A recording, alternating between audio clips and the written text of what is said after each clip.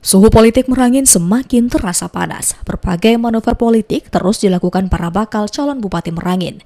Calon yang sudah memegang mandat dari partai politik sudah mulai bergerak untuk menentukan wakilnya di Pilkada Merangin mendatang. Seperti Fauzi Ansori yang akrab disapa Bang Oji, yang sudah mengklaim mendapatkan dukungan dari empat partai politik.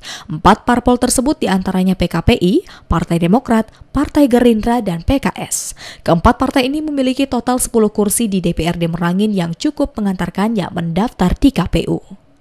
Setelah mendapat dukungan dari partai politik pengusung, Bang Oji tengah mempersiapkan siapa yang akan menjadi wakilnya nanti di pilkada mendatang. Dari sembilan nama, sudah ada tiga nama kandidat kuat yang bakal dipilih. Keputusan tersebut akan diserahkan ke partai koalisi. Namun sayangnya Fauzi Ansori masih enggan menyebutkan secara terang-terangan tiga nama yang disebutkan.